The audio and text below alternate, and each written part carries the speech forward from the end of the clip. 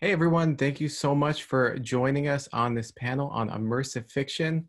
We have a great lineup for you today, uh, so let's jump into it. I'd like to introduce um, our panel of authors. We, uh, first up, we have Sophie Mackintosh, who is the author of The Water Cure and The Blue Ticket. Hi, Sophie. Um, which uh, The Water Cure was longlisted for the 2018 Man Booker Prize and won the 2019 Betty Trask Award. In 2016, she won the White Review Short Story Prize and the Virago Stylist Short Story Competition. She has been published in the New York Times, Elle, and Granta Magazine, among others. How are you doing today, Sophie? I'm fine, thank you. I'm pretty warm. we have a heat wave in the UK at the moment, so. That is what I hear, and I think we're getting one uh, down here in Southern California as well this weekend, so not fun. Yeah. Um, our next panelist is Ron Rash, who is the author of the PEN/Faulkner finalist and New York Times best-selling novel Serena, in addition to the critically acclaimed novels The Risen, Above the Waterfall, The Cove, One Foot in Eden, Saints at the River, and The World Made Straight.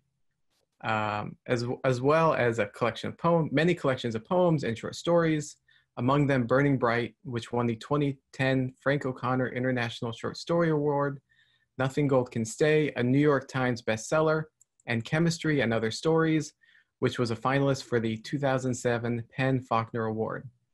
Twice the recipient of the O. Henry Prize and winner of the 2019 Sidney Lanier Prize for Southern Literature, he is the Parris Distinguished Professor in Appalachian Cultural Studies at Western Carolina University and lives in Clemson, South Carolina. Hey, Ron.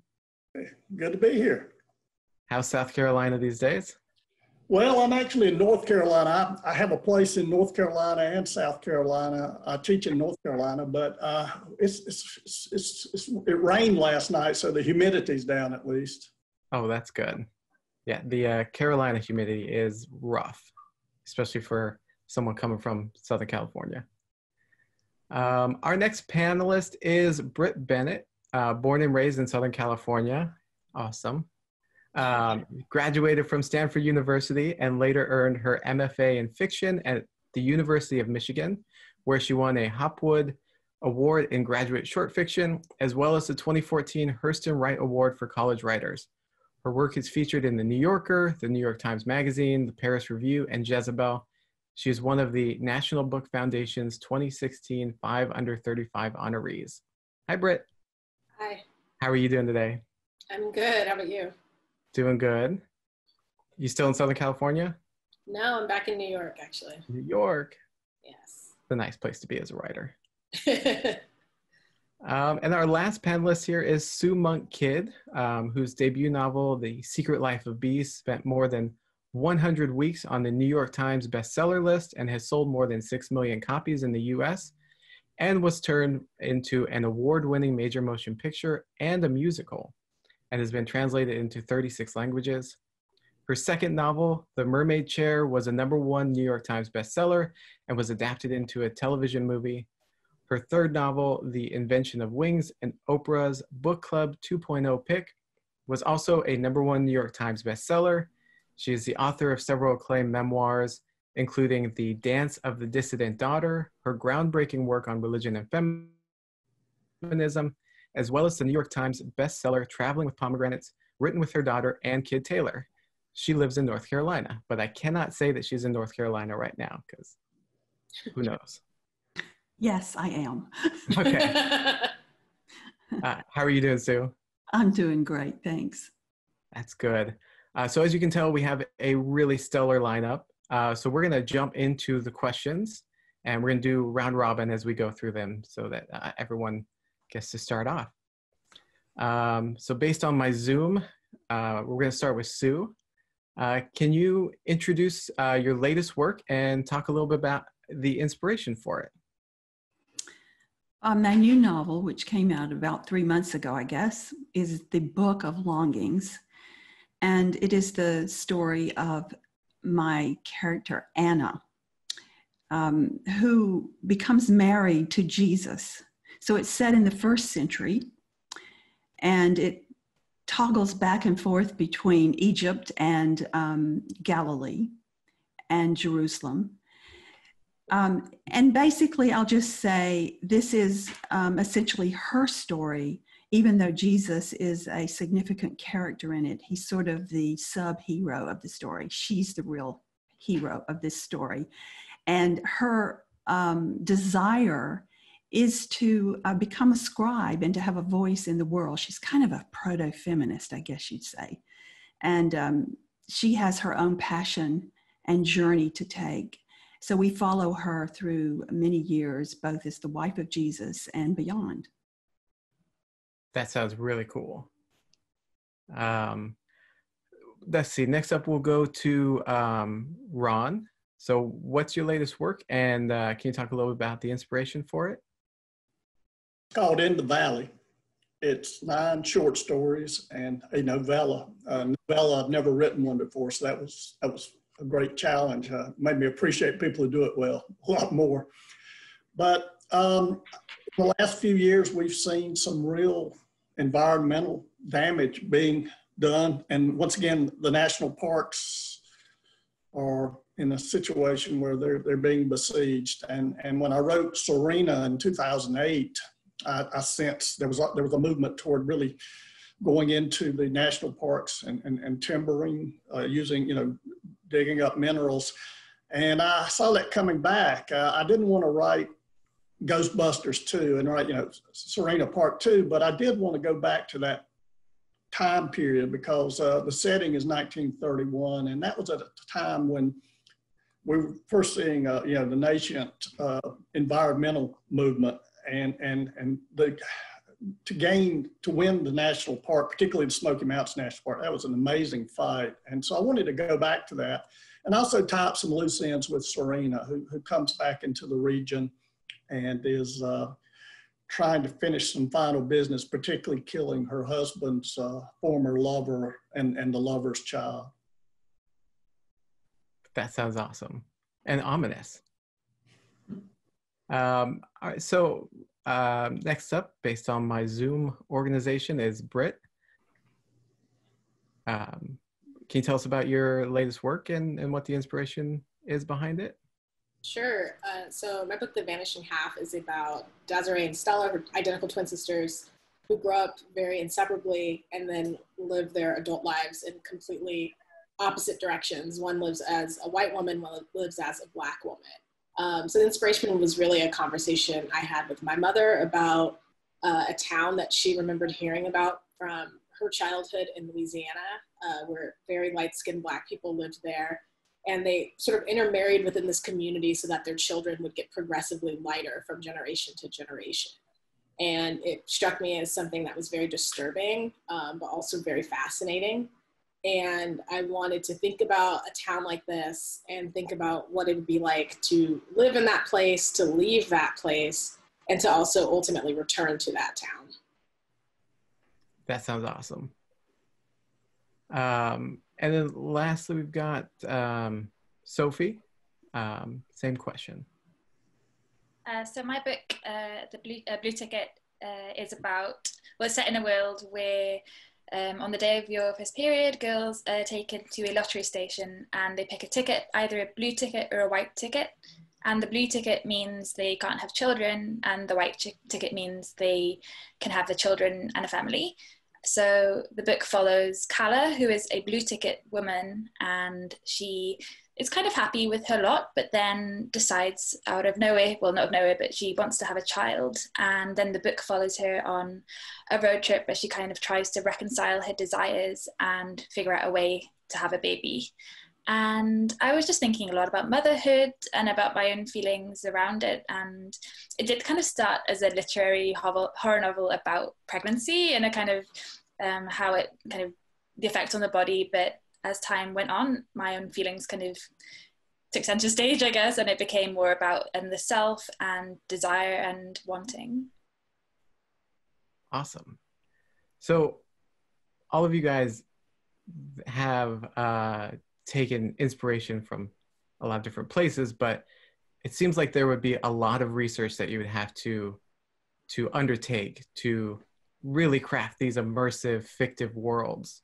Um, so if you don't mind talking a little bit about how you uh, either approach this book or how you just approach it in general, um, the research that you have to undertake to, to write these worlds. Um, so let's start with Ron on this one.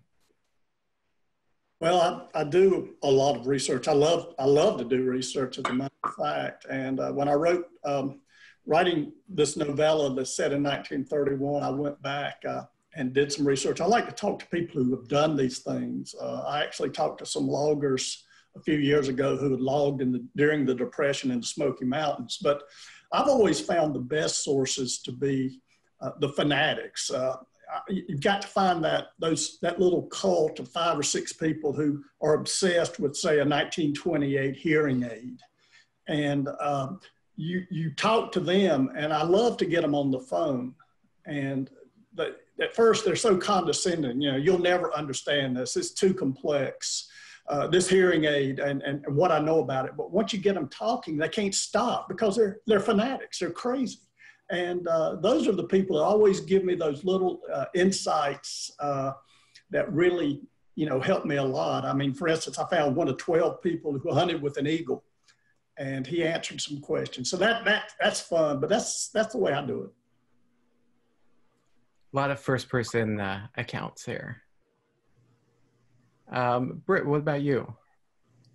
Um, yeah, I, I think for me, I read um, I read some books that were on just the history of racial passing. Um, you know, I read some books on the history of race in Louisiana and its very specific racial context, which is very different, I think, than lots of parts um, of the United States. Uh, it's a very specific context down there. So I, I read some books on that.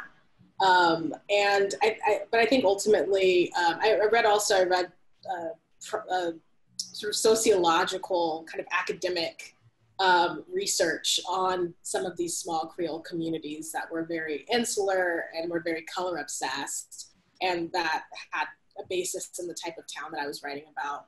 Um, but I also wanted to ultimately write towards myth and, and towards memory. I wanted to write towards a lot of the family stories that I'd heard growing up, um, the stories that my mother had told me about her experience of Louisiana as a child. I wanted to write towards that um, as well as writing towards any type of actual history.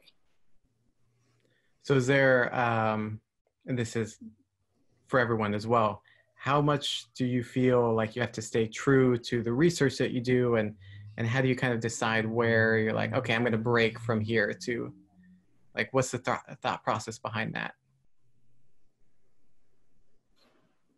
And that sorry that's a follow-up for Brit, but a- anyone um, changing the game here i'm sorry. Yeah well i guess i'll just say for myself i mean i I, I wanted to think about the, the history being the backdrop for the story. I didn't want to write something that was going to uh, sort of run counter to, to the history, um, but I didn't feel bound by it. I felt that, particularly um, in this book, I knew that I was writing towards this world that felt off kilter. Um, it didn't feel realistic and sort of the strict realism to me as I was writing it.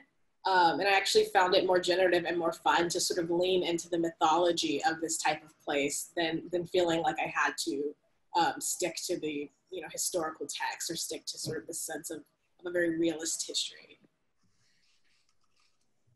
So Sophie, yours um, obviously isn't set in this world in the same way because um, we don't have that lottery yet. Um, so what kind of research did you undertake and and um, you know, draw inspiration from. So that is the fun thing I think about writing things with speculative elements is that you know you can kind of do what you like, but um, I really like have a specific aesthetic field I always work towards. And so for me, it's very visual. I have, um, I, I, take a lot from films and from art, and I do a lot of what I kind of think of as active procrastination, which is making Pinterest boards and um, playlists and things, but um, all things that I guess take elements of the world that I wish to use in my world and kind of build um, a picture around it. So yeah, it's strange. It's kind of like a mix of anything that could be useful and just in a big mix of playlists and Spotify uh, and um, Pinterest boards and kind of random things like stuck to cork boards um, to try and just build um, a really convincing feeling strange world. That's awesome. Just kind of blend it all in there together. Yeah. um, and Sue, what about you? Oh, my research was um, so daunting and exhaustive and kind of fun too. So much so that my daughter had to do an intervention with me to get me to stop and write the book.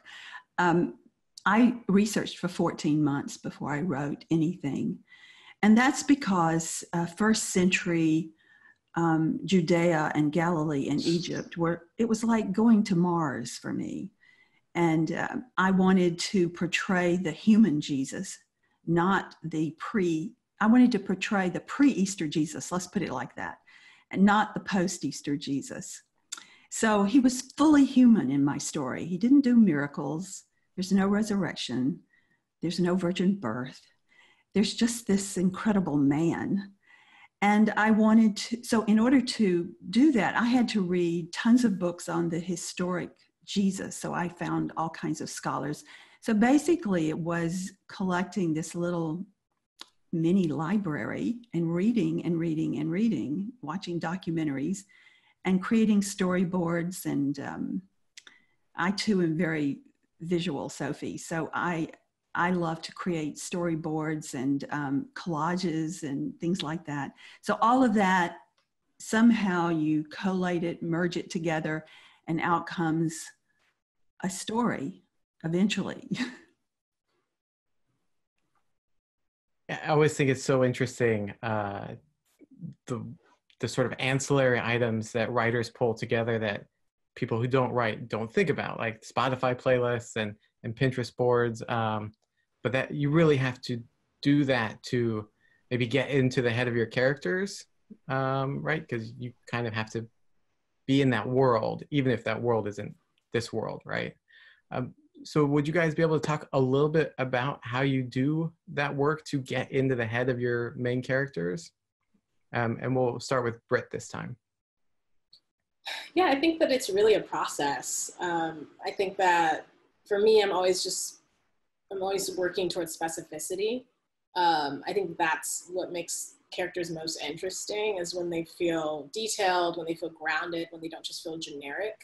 Um, so I'm always working towards that. And sometimes there are characters that sort of present themselves and you kind of see who they are. And, and most of the time there are characters that you have to kind of peel back all of the layers and, and try to get to what is actually specific and compelling and complex about that particular person. So for me, it's a process of that. Um, I, I, like to ask myself questions about the characters. Um, a question I always try to think about is, you know, what is something that this character would never admit to somebody else? Um, and, and usually writing towards that in some way is interesting and it can be generative of thinking about something the character knows about, you know, themselves, but that they would never admit to another person. Um, so I, I'll ask myself questions like that as I'm writing. I'll think about, you know, what that character deeply wants, what motivates them, what they're afraid of, these kind of primal emotions. Um, but ultimately, for me, it's really just a lot of revision and trying to constantly push myself towards being more specific, um, towards thinking about that character in a more realized and full way. With those secrets that you come up with, do you ever reveal them to the reader or is it just kept from the other characters?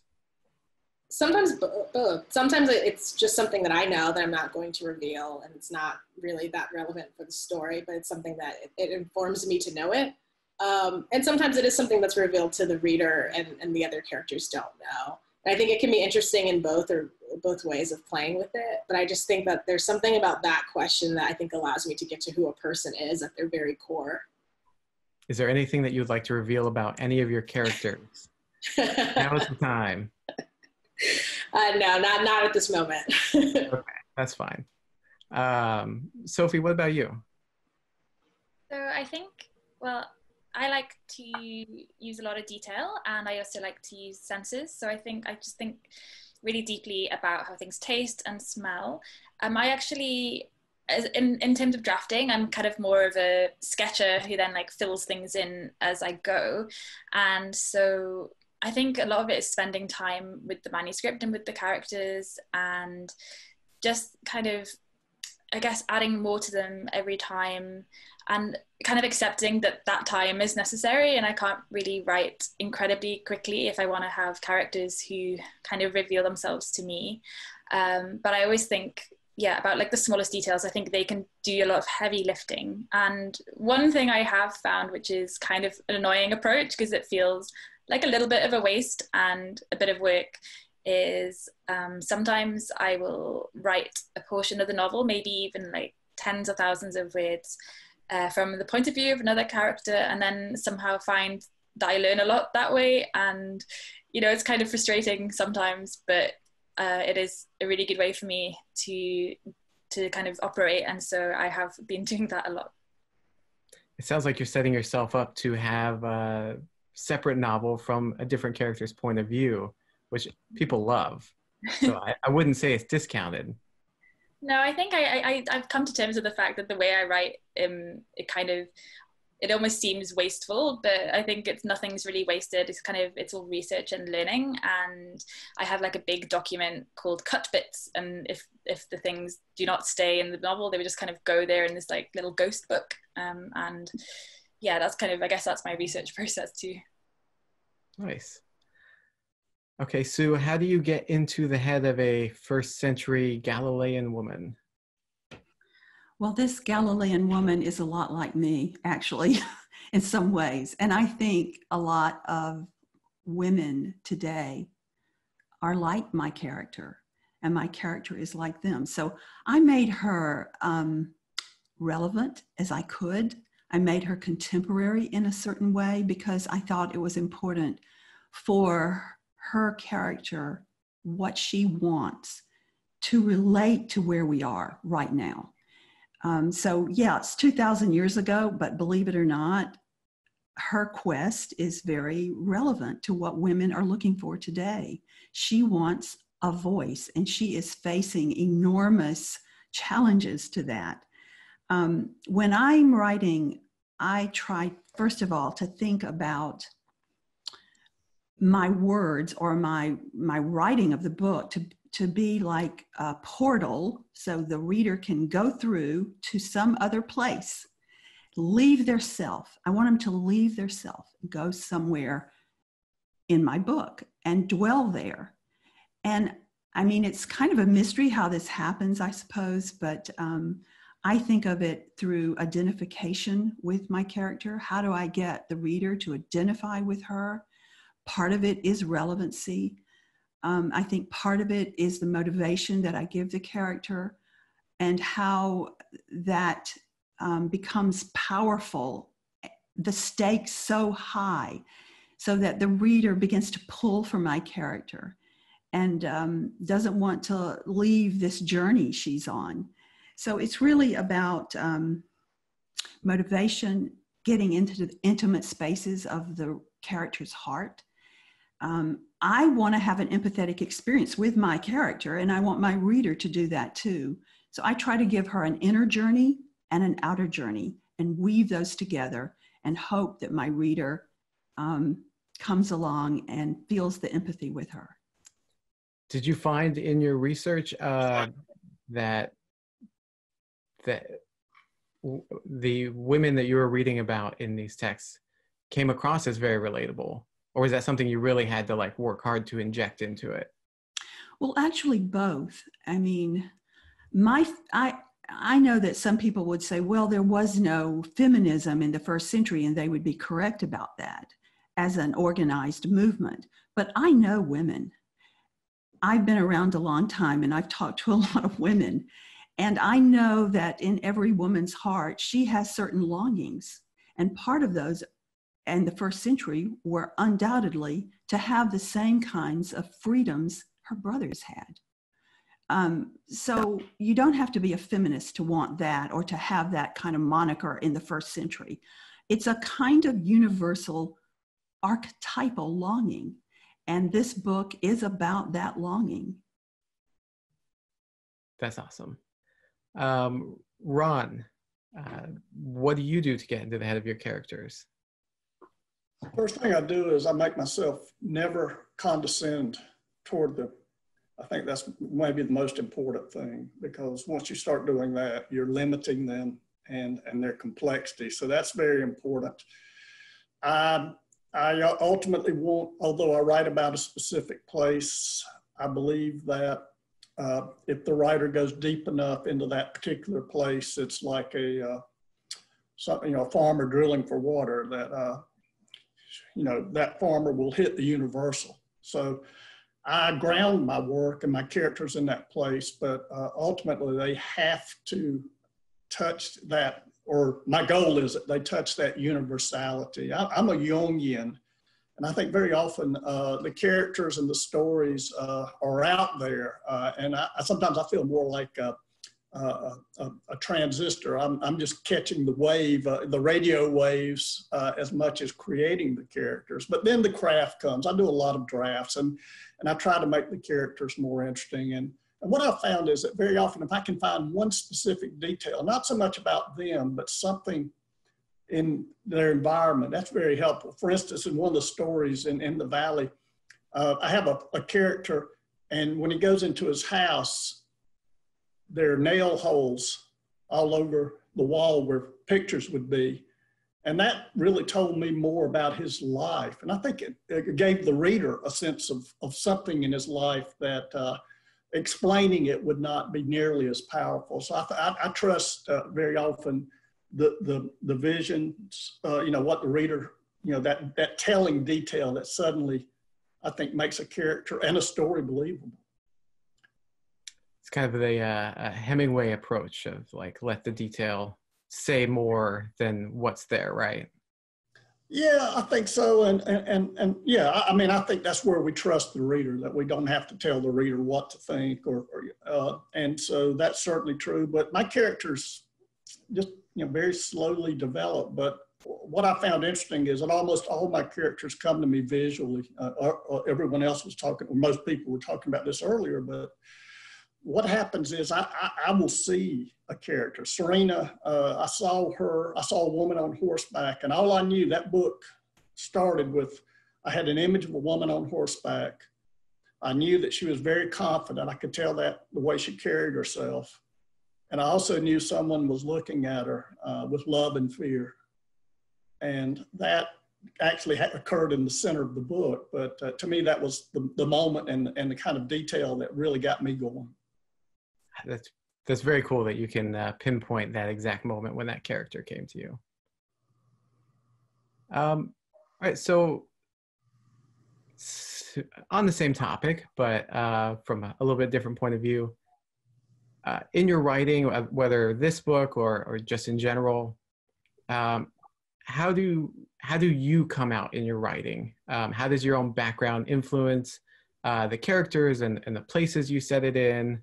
um, or your points of view? Like, do you find yourself?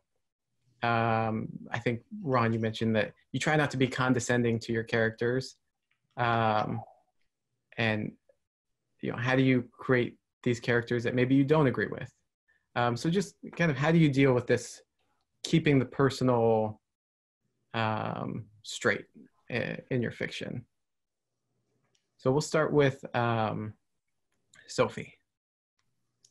Uh, so yeah, I find this one kind of a challenge. I guess it's as the author is kind of when you read it back, you can you can see what's you, and the reader can't necessarily. And it is strange because obviously it's fiction, so it's not you, but you can kind of pinpoint where things have come out. And I think even in the process of writing, didn't really realize some things that would be revealed. I kind of I think of writing a little bit like psychoanalysis, and you're kind of surprised by what comes out, or like what sort of strange memories will surface. And I think I felt that more, I guess, with my first novel, The Water Cure, because it was my first book.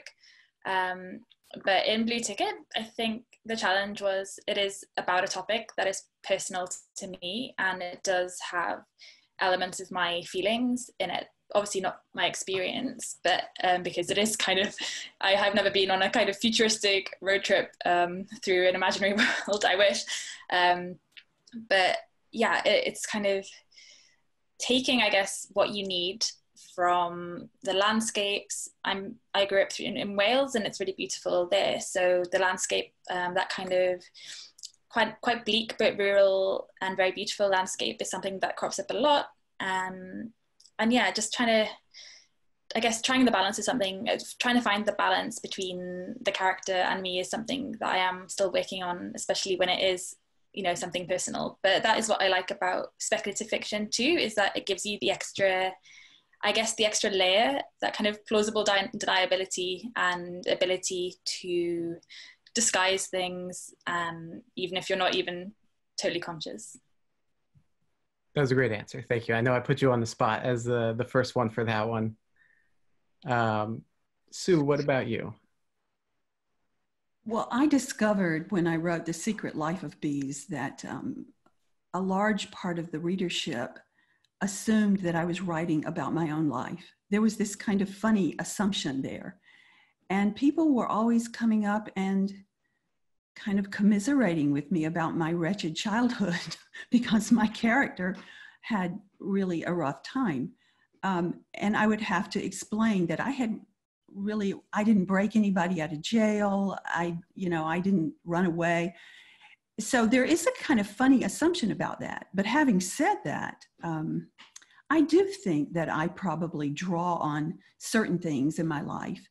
So in the Secret Life of Bees, it was more of um, very specific kind of peripheral details. While the none of that happened to me, um, I did draw on little details for my character. For instance, I used to roll my hair with grape juice cans in the 60s. That's what we did. That's what my character did. so things like that, just little details and nuggets. Um, however, I do think that our worldview sometimes creeps into a novel through maybe a certain character or a multiplicity of characters.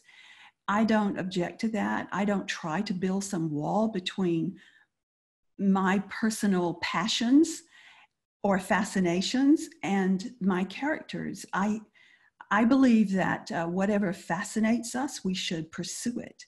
And that it is in that fascination that we find our last, what will help us uh, endure through the whole story I'm just trying to picture the grapefruit cans, hair rollers. yeah, it was very rolls. Painful. Very painful. Um, Ron, what about you? Uh, I know you said that you pull from, uh, you know, where you reside, um, but what else do you kind of bring in personally to your work? Well, what I find interesting is I, I've, I've always thought of myself as not being an autobiographical writer. Uh, I've deliberately done that. But I mean, I have the most boring life imaginable. But what's interesting is how my life, despite myself, enters into my work. And the best example of this was when I was writing my second novel. It was called Saints at the River. And it's about the drowning of a 12 year old child. And it's very traumatic. I'm a, I'm a parent, so it was, it was very tough uh, writing that book. And I honestly did not realize until I'd written it that what triggered that was right before I started that book, maybe three months earlier, my son had gotten hit by a car and he was fine. But, you know, I was actually working out that in, the book itself. And, and yet somehow I blocked the fact that I was connecting those two things. And uh, so obviously my life, my fears, my obsessions uh, came through in that book. Yeah, it's always always interesting to kind of look back at, at stuff that you write and have that kind of realization uh, later on. Um, yeah, glad your son's okay though. Yeah, yeah, well, he's he's fine. um, Brit, I know you mentioned that um, part of this book came out of discussions with your mom, um, but what else did you bring in personally and and sorry, go ahead. Yeah, no, I, I, agree with what everyone has said so far. Um, I, I enjoy the distance of fiction. I, I find it really hard to write uh, anything that is remotely close to memoir, um, in part because I, I also believe that I live a very boring life. Um, but, but in addition to that, I, I, I feel just way too exposed in having to write about myself directly. Um, so I, I, do love that that distance that fiction affords you. That if you want to um, write about things that you know worry you or trouble you or frustrate you, it gives you uh, a way that feels safer to do that. Um, at the same time, I, I, I never seek to. Usually, I don't seek to directly write about myself, but like everyone is saying, you always kind of creep into what you're working on. Um, and I think the thing that's been most surprising to me is that it's often the characters that I find most frustrating, um, often characters that I dislike. Those are often the characters that I look back at later and think, oh, that is the character who's most like myself. Um, so that's that's kind of a harrowing realization to reach. Um, but I never have a the, I never have the feeling of, you know, the hero is my stand-in. I never have that feeling when I'm writing. It's always the character that I'm like, that person's pretty awful. That later when I look back, I feel like that is the character who's most like myself. So make of that whatever you will. That's really interesting to hear because I think as readers, I think we kind of assume that the the main character, the the protagonist is who the author identifies with. Yeah. Um, do you guys find similar things Do you identify with characters that you may not like uh, at first blush? Just for anyone. I definitely identify, I think, with yeah, my, my, my least favorite was sometimes. So especially in the Water Cure, my first book, um, yeah, I, I wasn't particularly thrilled that you know I, I well, identifying with any of them, but yeah. You don't have to tell us which characters. it's too revealing. I will keep that a secret. uh, Ron or Sue? Well, I find that even my worst characters, and there are some pretty bad ones in there, I try to have some compassion on them. Maybe it is because um, I recognize parts of myself in them. Um, I think they're probably little bits of the writer, most writers in all of their characters, maybe. Um, and I think I agree with Brit. I I think that my um, my bad guys, my bad girls in my books, um, I recognize myself in them sometimes too. It's very sobering, but it's probably also um, healing in a way, or or um, makes us more conscious of something. So that's just a personal thing of how writing intersects with some sort of movement toward wholeness in the writer. And um, so it's a it's that's an interesting question. Yeah. So uh, we have to ask one pandemic related question because it's everywhere. That's where, where we're dealing with right now. That's why we're on Zoom. Um, what are you guys doing right now to get out of your own head? Right? I, um, how is the writing process for you? Has it changed? Um, are you able to read right now? I know I've had trouble reading for sure. I, have been relegated to audiobooks at the moment. Um, but what has it been like for you the last couple months? Um, and we'll start with back with Sue. Well, initially, um, I had trouble reading too. Um, my novel came out, the Book of Longings came out um, in April 21st. And so we were really at the very point of what, of canceling everybody's book tours and um, not knowing where to go from here. And um, so I was sort of like a canary in the mine. I, I had to go out there and sort of um, experiment, one of the first ones to experiment with things and how. So we created a book tour. I mean, uh, yeah, well, a virtual book tour, but a book club and lots of virtual events. And that helped to um, feel like you were standing by your book and introducing it somehow and having some kind of engagement with the reader. But it was all very disconcerting initially. And then finally, um, I found a way to sort of um, relax into it a little more and um, read again, went through, you know, some books and um, continue to try to um, talk about my own work and have a and have a conversation with my readers. That matters to me a great deal to be able to hear from my readers. So this is a whole new virtual world and the pandemic, um, I'm really ready for it to be over. I've just about watched everything on Netflix and I'm really tired of it. So I think we're in for a long haul though. So I'm trying to make, continually trying to make my peace with it. But sometimes I'm like Michelle Obama, there's a low grade depression going on occasionally. Definitely uh, in the air as well, uh, that low grade depression. Um, I didn't introduce myself, but I'm one of the co-owners of Mysterious Galaxy, and you know we have that same feeling. Like we love events, we do like four or five a week, and now we've had to transfer all of them to virtual, and it's very different.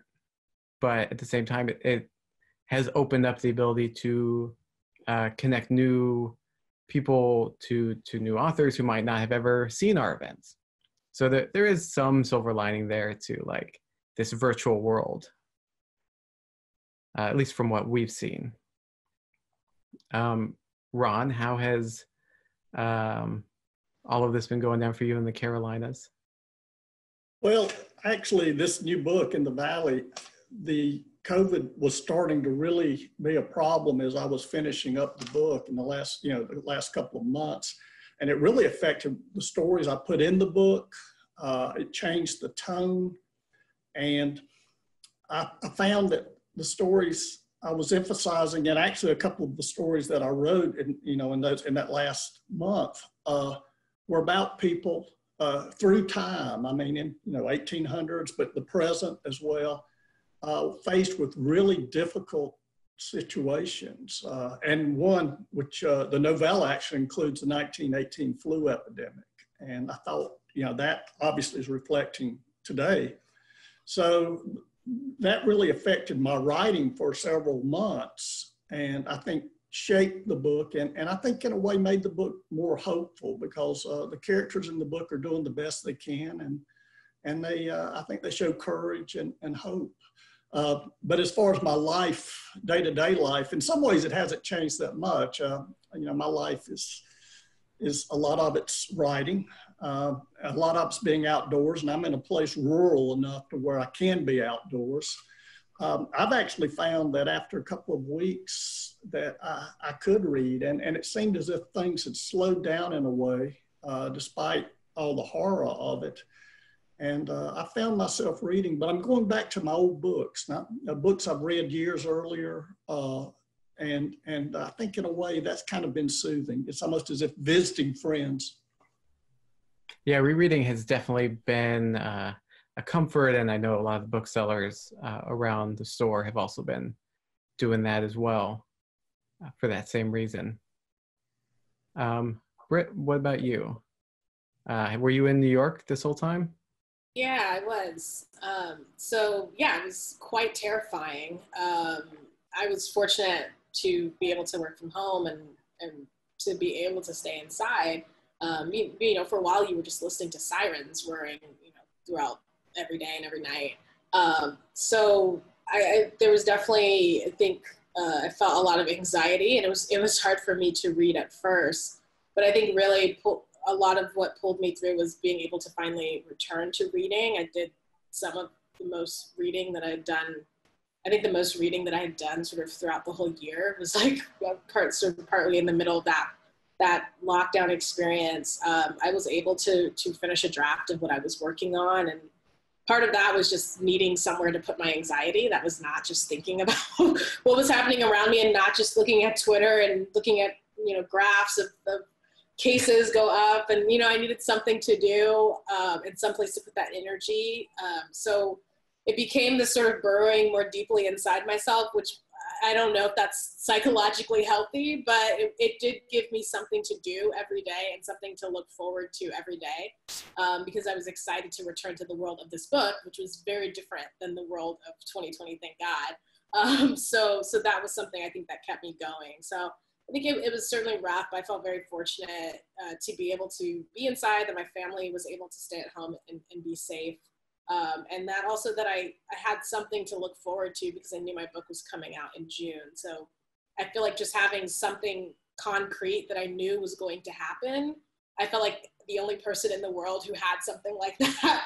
Um, because for most of us, our so all of our future plans just sort of evaporated for you know for the year, and, and God knows uh, when that will end. So I feel very fortunate for that. Yeah, it really has been such a strange year, especially can only imagine for debut authors. Like, this is this is not what you know going on tour is usually like, or yeah. promoting your book. Um, but like I said earlier, there's opportunity in here, and the virtual events much more accessible to a lot of people, which is great.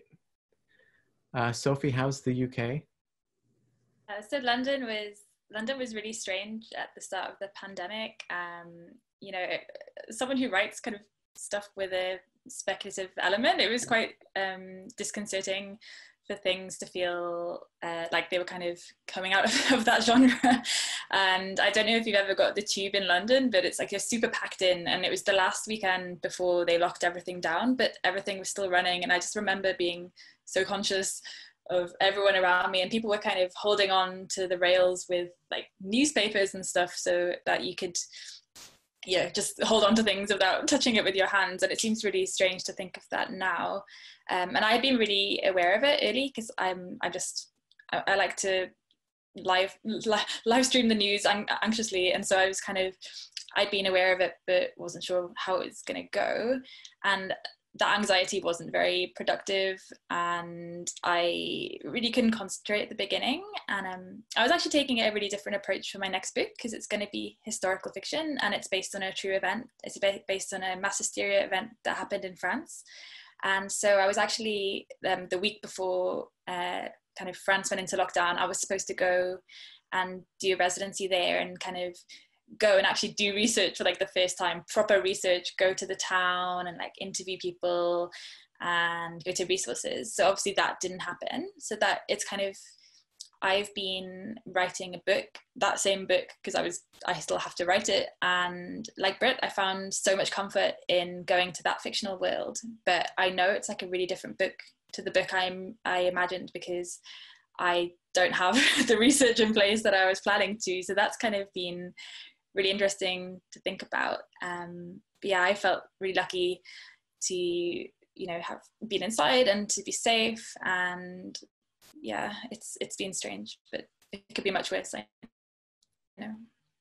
So uh, both Ron and Sophie mentioned that they are uh, they've had to make some related changes to their stories based on everything that's going on. Um, Sue and Brit, if you're writing anything new right now, have you found yourself making adjustments based on logistics or just wanting to kind of deal with the state of the world in your fiction? Well, no. I mean, my my next thing is it's due. It's set in the past also. Um, so it's it's it's uh, there's no social distancing. There's lots of parties. There are lots of concerts. Um, there are people um, having lots of all the fun that I wish that I could be having right now. Um, I don't know if like when I think about writing something set in 2020, I'm just like I don't even know how one would go about doing that because I think like Sophie was saying it sounds so far beyond any type of speculative fiction you could write.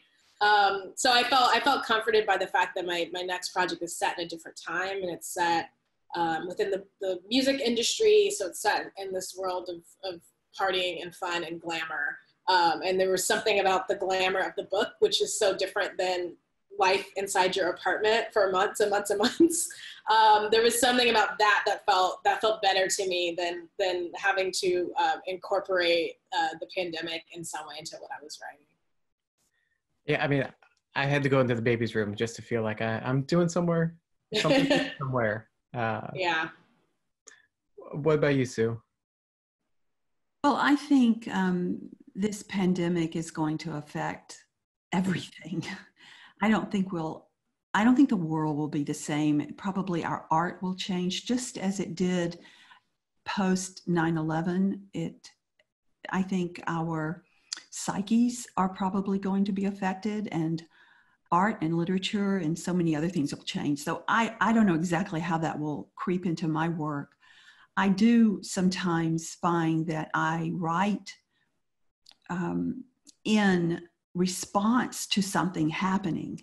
It fuels some kind of passion or emotion in me. Um, for instance, in the Book of Longings, um, there was not a certain character there the Tabitha character was not in my first draft.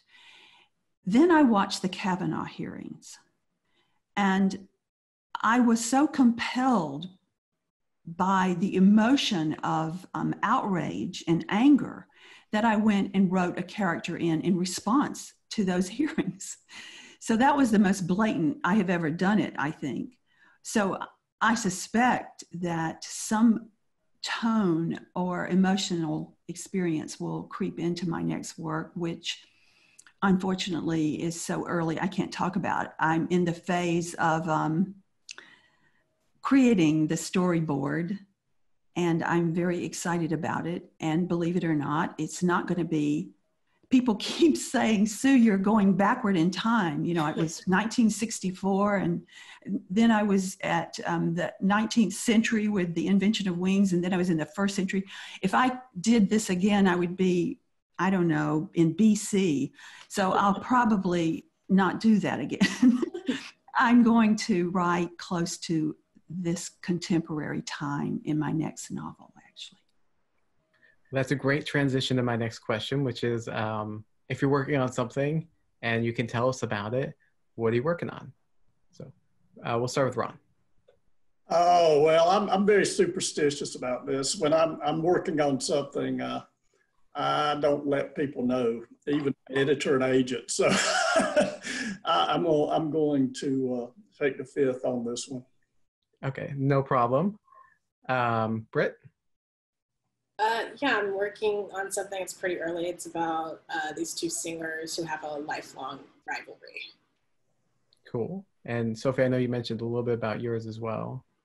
Yeah, it's, so it's based again. I, I kind of am mildly superstitious, but it's based on a, a mass hysteria event that happened in the 50s in France, just in set in a small village, and yeah, it kind of in the absence of kind of writing so much about the event itself, it's become a lot about reality and fantasy blurring and, and, the lines between them blurring. And there's a lot of touching in the book. I'm like, I wonder if there would be so much touching if we were not in a pandemic.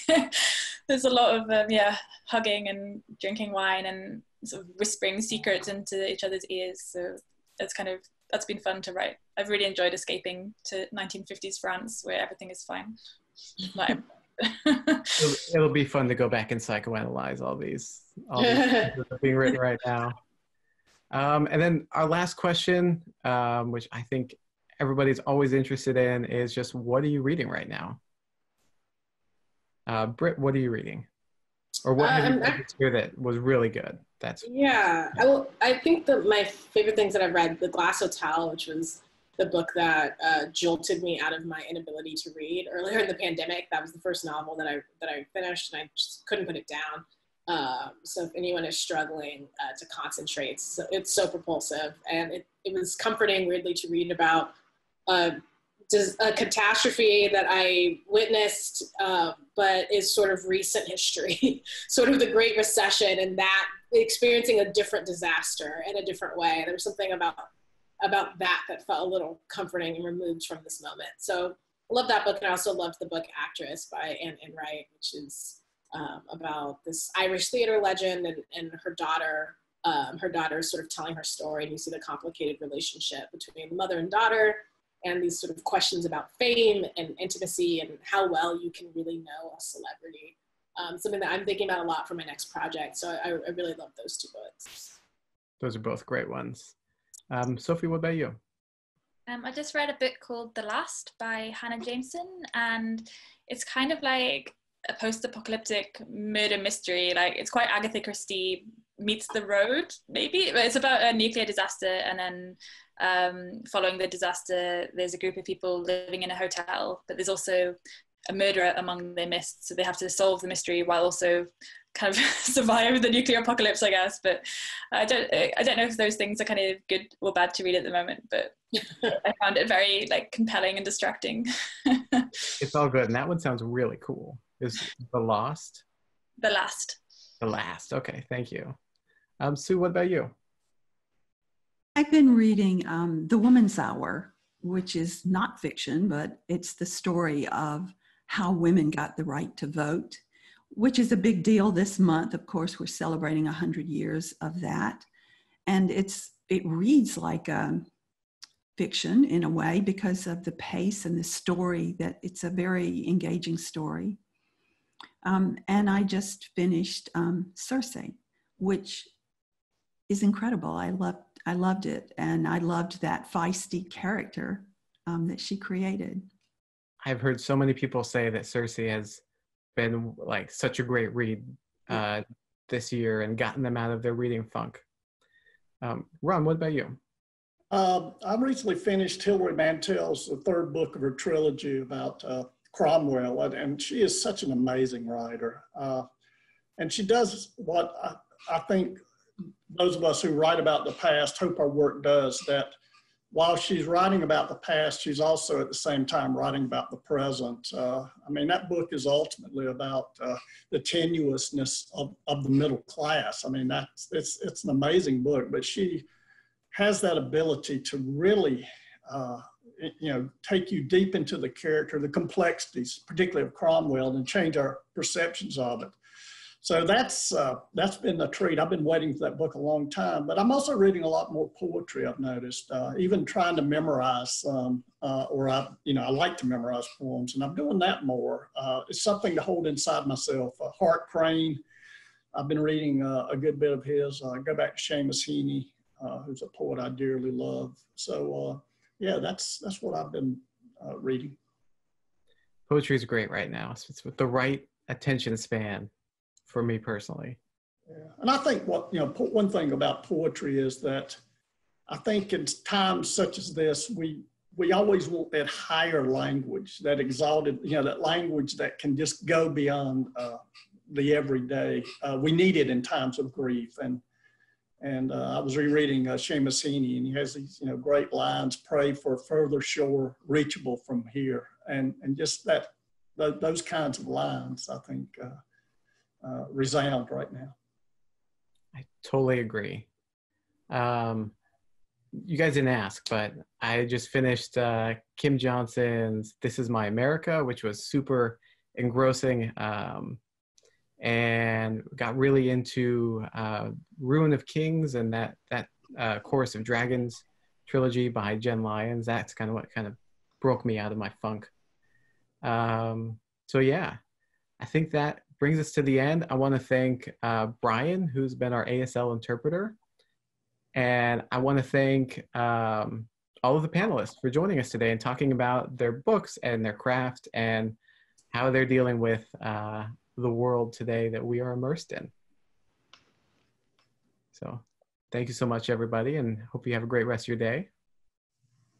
It was a pleasure. Thank you. Thank you.